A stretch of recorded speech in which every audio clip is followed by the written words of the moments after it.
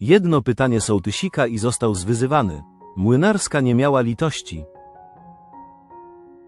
Agata Młynarska była gościem gwiazd sołtysika.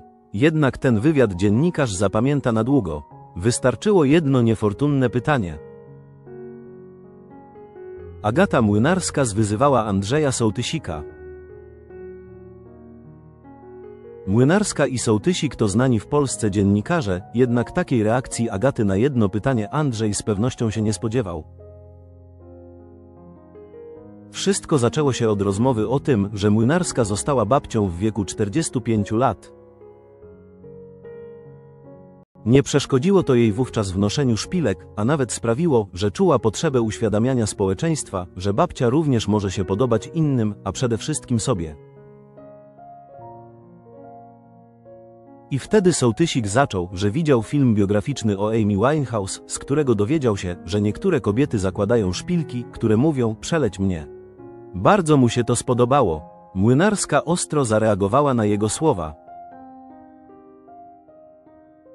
Uważam, że to, że przyznajesz się do tego, że ci się to podoba, świadczy o tym, że jesteś starym, patriarchalnym dziadem. Nazywanie tego w ten sposób jest bardzo niesprawiedliwe, jest dużym nadużyciem wobec kobiet, bo mają prawo chodzić ubrane, jak chcą, a to jest problem mężczyzn, co z tym robią. Jeżeli mają nieposkromione żądze i pragnienie władzy nad tym, jak kobieta ma wyglądać.